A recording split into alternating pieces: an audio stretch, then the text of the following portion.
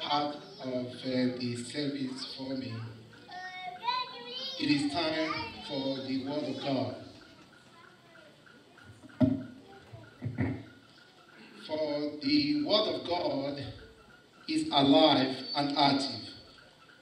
So let us examine it carefully.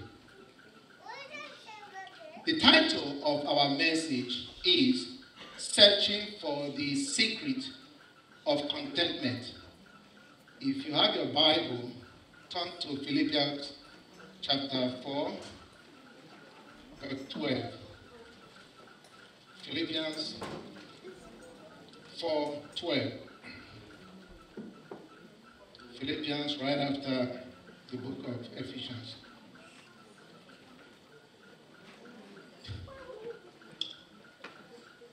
And as made, please stand for the reading of the Word of God.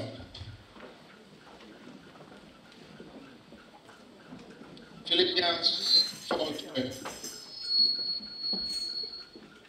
I know what it is to be in need, and I know what it is to have plenty.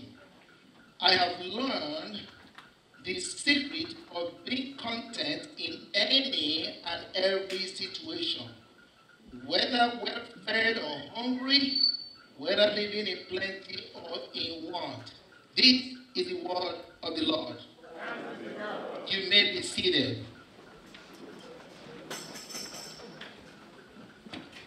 Let's pray. Father in heaven, we bless your holy name because you are from everlasting to everlasting. Open our minds and ears to hear your word and help us to apply it in every area of our lives. In Jesus' name,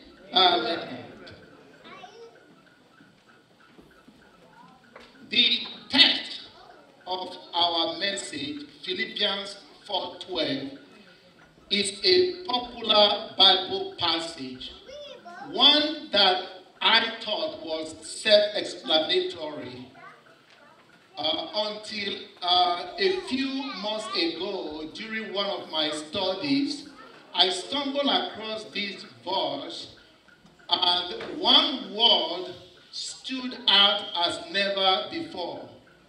And that word is secret. As you know, a secret is something not widely known or something that is hidden. In this passage, Apostle Paul says that he has learned the secret of being content in any and every situation. But he did not say exactly what the secret is. Out of curiosity, I looked up a few verses before and after, and this secret was not readily obvious. So I decided to search further. Hence the title of our message searching for the secret of contentment. I want you to know that there are, or as we embark on this journey together, I want you to know that there are several bumpy roads ahead. So please put on your seatbelt.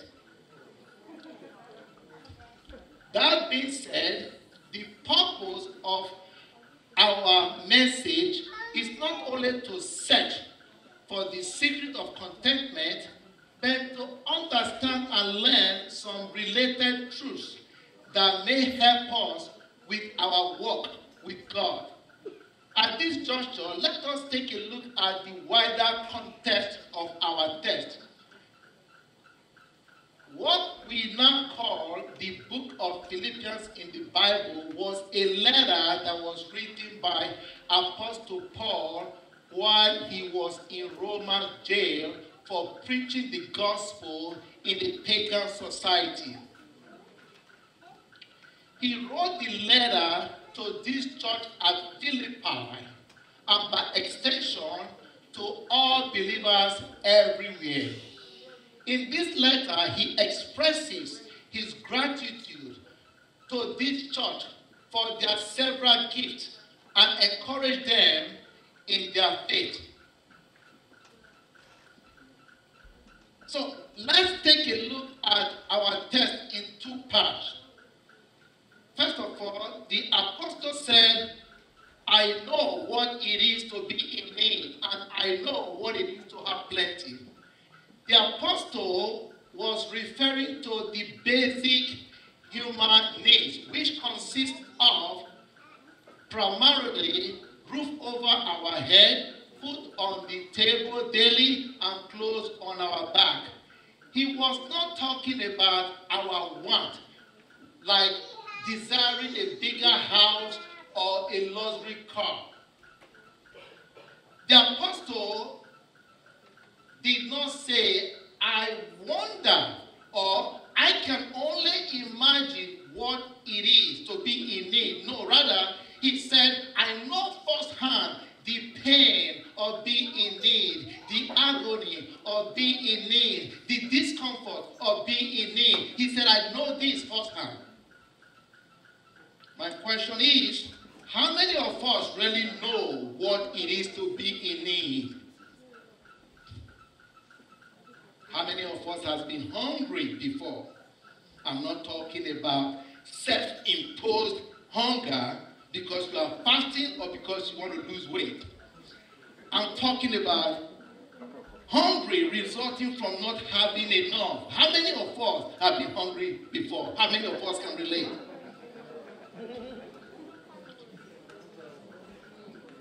That is on one hand. On the other hand, the apostle said, I know what it is to have plenty, abundant, excess, having more than enough. He said, I also know that. Most of us can relate to that. We have plenty. And in this United States of America, I have never seen an immigrant that doesn't send money home to relatives to meet their needs. We are able to do that because we have plenty.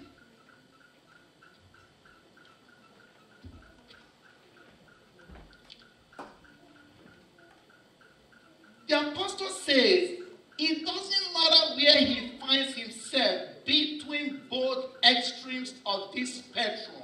He says that I've learned the secret of being content in any and every situation, whether we're fed or hungry, whether living in plenty or in want. So let's put the secret and contentment part of this profound statement on the shelf. We are going to deal with those momentarily. But in the meantime, let's take a look at some of the other pieces of this verse. Notice how the apostle cleverly uses the words any and every. As you know, every refers to 100% of something. For example, I would say every day of the year, referring to 365 days of the year. In contrast, I can say any day of the year, referring to only one day or several days or the 365 days, depending on the context in which the word any is used.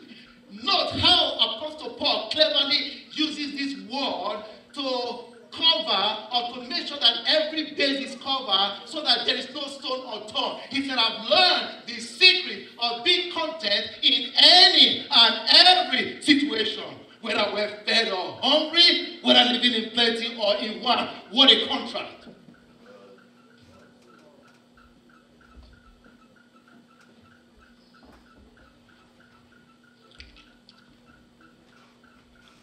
Let us set the stage for our search by quickly addressing some key issues. Number one, what is contentment? The dictionary defines contentment as satisfaction, pleasure, happiness. Whereas the biblical definition of contentment is being satisfied with what you have, with who you are, and with where you are going. The question is, how many of us can really confidently say that we are contented with what we have and who we are? Many of us claim that we are. The truth is, the lives we live clearly says otherwise. If we are already contented, why do most of us still desire a windfall, say of $100 million? Why? Some of us claim that if they ever have access to a lot of money, the first thing that they are going to do is write a check and pay off the mortgage and pay off the church mortgage and give generously to the church. But the fact of the matter is, if you examine our heart closely, most of us desire a lot of money because we want to live the life of the rich and the famous. First of all, if we ever come across such money, we will buy bigger houses, more luxury cars, more stuff. We will actually keep even more for ourselves so that we can continue to maintain power and prestige. The fact of the matter is, if you are presently not giving generously for the work of God right now, the chances are by the time you come up with a windfall of money, you will not either.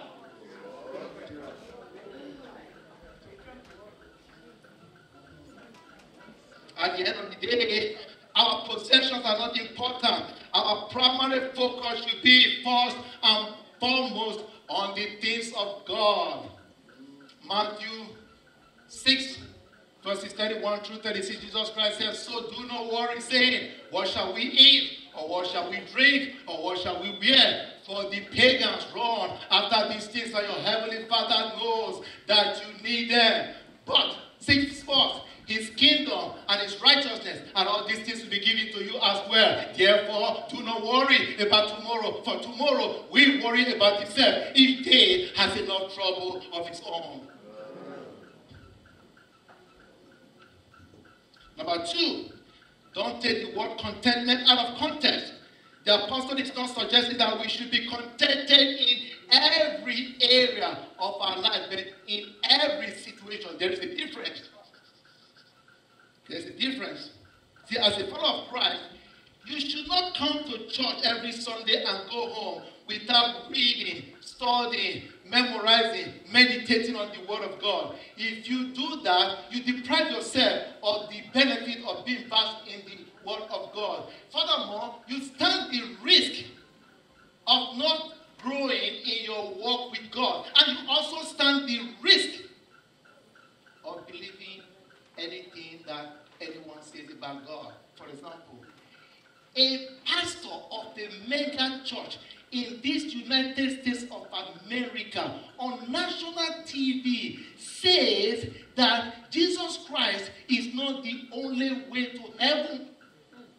A pastor of the mega church with thousands of followers. Listen to me.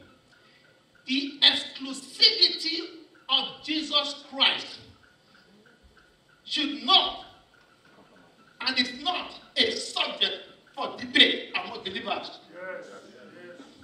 This exclusivity proclamation was made by Jesus Christ himself, and not you, and not me. John chapter 14, verse 6. Jesus Christ himself said, I am the way and the truth and the life. No one comes to the Father except through me. I wonder sometimes what kind of Bible some of these pastors are reading. Number three, contentment does not mean we should be passive.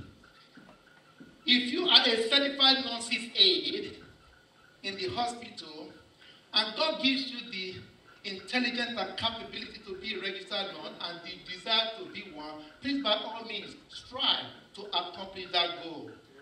There's nothing wrong with that. However, if you do not have the capability to do so, then be contented with being a certified nurse's aide and be the best certified nurse's aide there is for the glory of God. Amen. Number four, some people claim that comparison is the basis of discontentment. That is not true. You know why? Because each and every one of us compares ourselves with our peers. All of us do. There's no exception. Let me give you an example. If I'm a businessman, I have 10 employees. My friend who has a similar business has 100 employees. Instantly, I just did the comparison. The fact that based on the number of employees, my company is 10% the size of his company. That man just comes to my mind just like that. So, comparison is a natural inclination. So we all do compare. So what am I talking about? Comparison is a natural tendency. The comparison is not the problem. It is what you do with the comparison in your heart. When you desire what somebody else has, when you agonize over what somebody else has, when you internalize over what somebody has, when you want to have that thing so bad, even though that is not God's portion for you, that is sinful, not comparison. And that is what the Bible calls covetousness. So covetousness is a sin, not comparison. Because we all compare. It's a natural inclination or tendency. Now, let's talk about the origin of discontentment.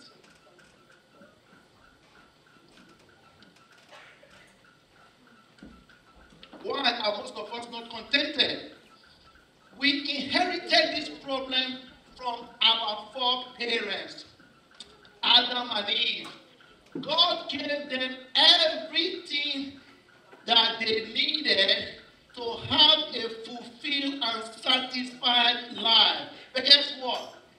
They desire, they desire the only thing that they did not have, and they ate out of the forbidden tree, and that was the genesis of all our sins, including the sin of discontentment.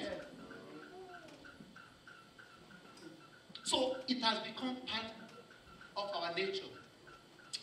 I know some of you are thinking, I don't believe you. Watch this. If you don't believe me, watch children as young as two years old. You give them certain toys in the company of other children. And in no time, guess what they do? They be crying and yelling for another child's toy. As little as two years old. Have you noticed that? As adults, can we relate? Yes, we can. The only difference is we don't cry about it. But in our heart, in our heart, we desire somebody else's job. We desire somebody else's house. We desire neighborhood. We desire automobile. We desire talent. We desire somebody else's gift. We desire somebody else's ability. We desire his wife. We desire husband. We desire these things. That is the truth. I told you to put on your seatbelt. I, I hope you are. You know. First, this is the fallen condition of a man. May not admit it, but it is the truth. First John chapter 1, verses 8 and 9, the word of the Lord says, If we claim to be without sin, we deceive ourselves and the truth is not in us.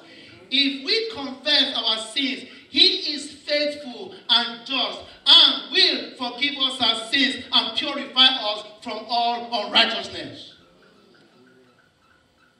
There is none of us that is righteous. The only righteousness in us is the righteousness of Jesus Christ that is imputed in us as believers. The good news is we thank God for his unconditional love. He makes provision for our sinful nature by sending down his only begotten son to die for our sins. All we need to do is believe in him, and believe in him and proclaim with our mouth that Jesus Christ is Lord and believe in our heart that God raised him from the dead. Jesus Christ died for our sins. That is our escape from condemnation. Lamentations 3.22, 3.22 and 23. The prophet Jeremiah said, Because of the Lord's great love, we are not consumed, for his compassions never fail. They are new every morning. Great is your faithfulness.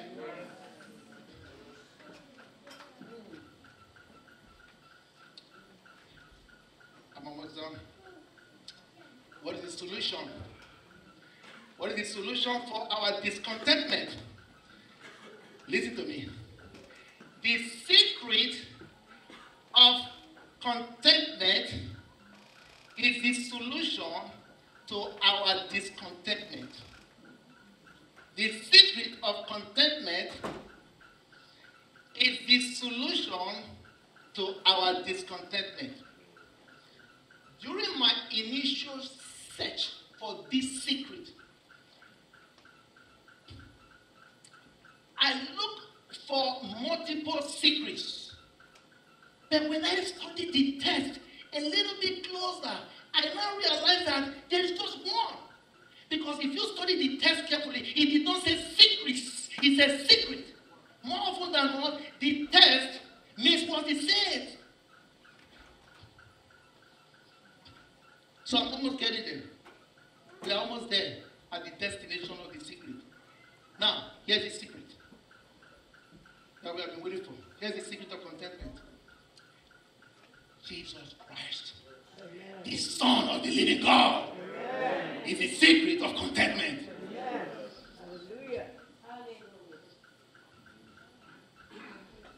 I know some of you are wondering, what is he talking about? How can that possibly be a secret? Don't most people know Jesus Christ? I'm glad that you asked. Let me explain. See, when you accept Jesus Christ as your personal Lord and Savior, the Holy Spirit comes and resides in you. You are no longer the same. You are now in a position to enjoy several benefits of knowing Jesus Christ, which include but not limited to His unconditional love, the joy of the Lord, which is our strength, His peace that surpasses all understanding, His loving kindness, the fact that we are going to spend eternity with Him. You enjoy all these benefits when you come to the realization that Jesus Christ is your personal Lord and Savior. When you have Christ, you have everything.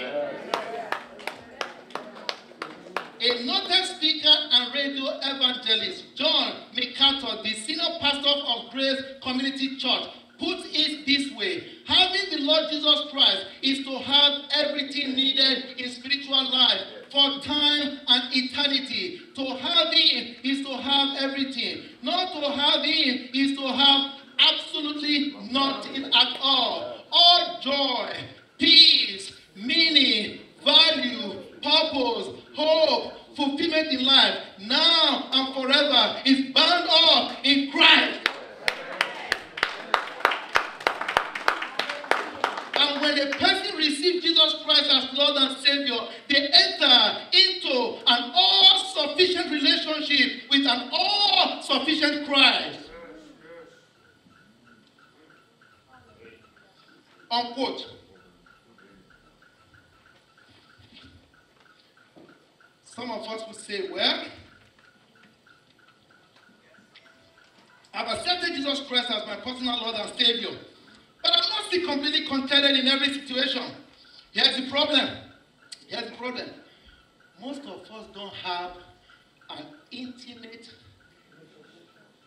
an intimate, passionate relationship with Jesus Christ like Apostle Paul. You have a witness. Listen to me. To be completely contented in every, in any and every situation, we must have the same mindset as Apostle Paul. He was incredibly and fully vested for Christ and the things of Christ. If you don't believe me, listen to some of the things the Apostle Paul has to say. Just listen to this. In Philippians 4, verses 6 and 7, Paul said, Do not be anxious about anything, but in everything, by prayer and petition, with thanksgiving, present your request to God, and the peace of God, which transcends all understanding, will guard your heart and your mind in Christ Jesus. Wait a minute, wait a minute. Apostle, you are in jail. with that freedom. And I'm here having a wonderful time with my wife and family. I just went to a party yesterday night. It was a great party. I have another one planned for next week. And you are not to be anxious about anything and everything. How can he possibly have that kind of mind frame? How is that possible? The answer is simple. The fact of the matter is he was contented because of the absolute sufficiency of Christ.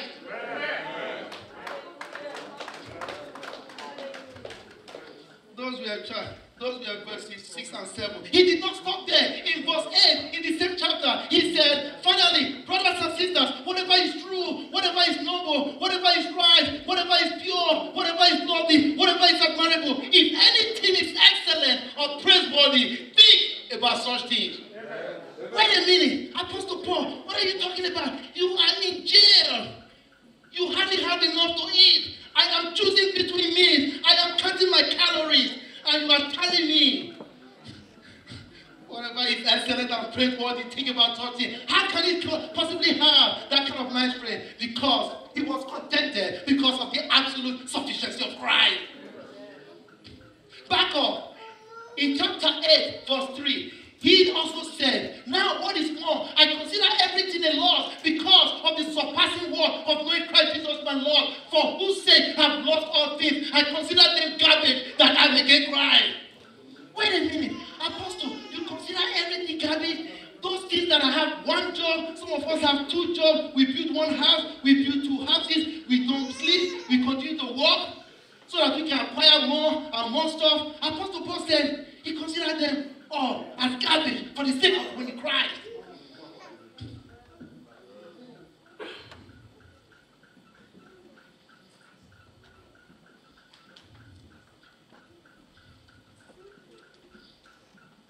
How is the apostle able to do these things?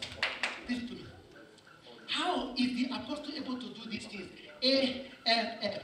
All these things. How? The answer is in Philippians 4:13. He said, I can do all things through Christ who strengthens me. I know you must have heard a lot of people using this verse in several situations and circumstances. I just ran the Chicago Marathon a couple of weeks ago or so, and you see people with their t-shirt. They are running. On their t-shirt, they put Philippians 4:13. I can do all things strengthens me. People want to go to medical school so that they can make half a million dollars and build mansion. I can do all things through Christ who strengthens me. People want to lose weight. Ah, they quote Philippians 4:13. I can do all things through Christ who strengthens me. There's something wrong with that. I don't have any problem. But listen to me carefully. When Apostle pen, when Apostle pen, Apostle Paul penned Philippians 4:13, that was right after our test which is Philippians 4 12, where he says, I know what it is to be in need and I know what it is to have plenty. I've learned the secret of being content in any and every situation, whether we're fed or hungry, whether living in plenty or in want. Then in verse 14, in verse 13, he said, I can do all things through God who strengthens me, through Christ who strengthens me. What actually Apostle Paul was thinking about here, Apostle Paul was actually thinking about his ability to endure weaknesses, his ability to endure insults, his ability to endure hardship, his ability to endure persecution, his ability to endure uh, to endure difficulties for the sake of Christ. That is what he was thinking about. He was not thinking about losing weight. I can do all things Christ, which I think means. I mean, you can use that verse whatever you want. I don't have any problem with that. I'm almost wrapping up. Even go to 2 Corinthians chapter 12, verse 9. Even when Apostle Paul was ill, he prayed to God three times for God to take this illness away. And Jesus Christ said, No. Listen to the conversation between the apostle and God. He said, Then he said to me, My grace is sufficient for you, for my power is made perfect in weakness. Wait a minute. My power is made perfect in weakness. If God has responded to you and me in that fashion, we complain and murmur, but not Apostle Paul. Rather, he responded and said, Therefore, I will boast all the more gladly about my weaknesses, so that Christ's power may rest on me. So that Christ's power may rest on me. For you and me, we boast about our accomplishment. We boast about our abilities. We boast about our gifts. We boast about our network. We don't even acknowledge weaknesses, let alone boast about them so that Christ's power may rest on us.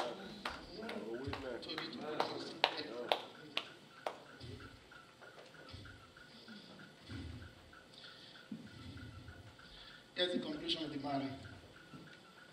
Here's the conclusion of the matter. If we look at everything in life from the eyes of Christ and his kingdom, we may not be able to say, like Apostle Paul, I know what it is to be in need.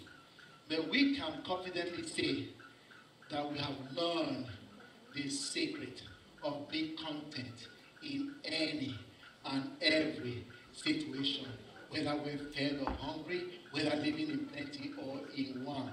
Let's pray. Father in heaven, we acknowledge the fact that we are not contented in any and every situation. We don't want the things of this world to impede our ability to effectively run our Christian race. Help us to become more and more interested in your things and less interested in the things of this world for our benefit and for your glory. 1 Timothy 1 17. Now to the King, eternal, immortal, invisible, the only God, be honor and glory forever and ever. Amen.